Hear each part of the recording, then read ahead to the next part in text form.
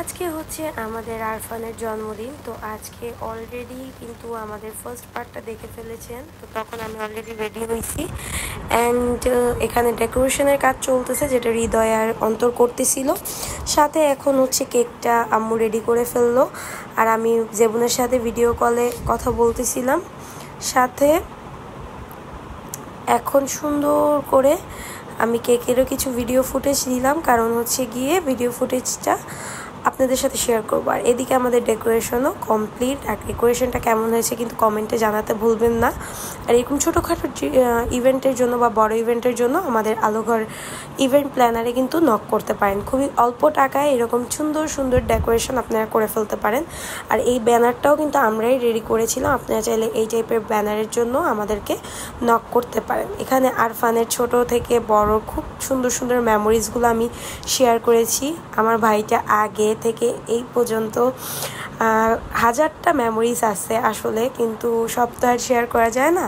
তো তাই আর কি কিছু কিছু ছোট ছোট মেমোরিজ কালেক্ট করে আর কি এই ব্যানারটা আমি রেডি করেছি। দেন হচ্ছে এখন আরফানের চোখটা বাঁধা হচ্ছে, ওকে নিয়ে আমরা ওর ডেকোরেশন দেখা টা দেখাবো। ও কিন্তু রুম থেকে একদমই বের হয় নাই, ওর বা রুমে বসে রেডি হয়েছে রুমে বসে ফ্রেশ হয়ে এখন একবারে বের হচ্ছে।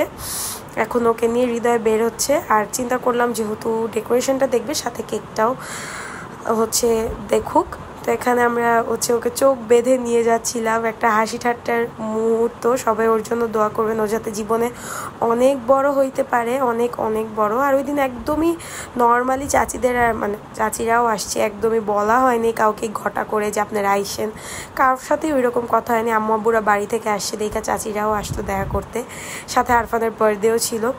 আর এইদিকে আপনাদের ভাইয়া মানে রাজু কেকও নিয়ে আসলো ও একবারে দেখবে আর ওর জাস্ট রিয়াকশনটা জাস্ট দেখবেন এখন যে মাসাল্লাহ এত খুশি হয়েছে ও আসলে এক্সপেক্ট করে নেই এত কিছু।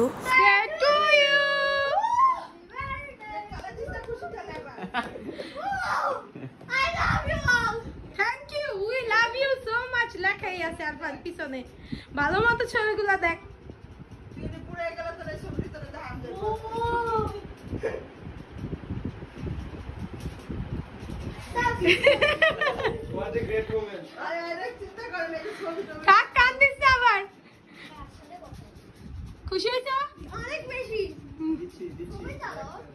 তারপর আসলো আরফানের গিফটের পালা। ও এবার সবার কাছ থেকে গিফট পাইছে মানে সবার বলতে সবার কাছ থেকে গিফট পাইছে এমন কেউ নাই যে গিফট দেয় নাই। সবাই ওকে গিফট দিছে। আসলে ওকে সবাই অনেক বেশি ভালোবাসে, এটা বলার কিছুই না।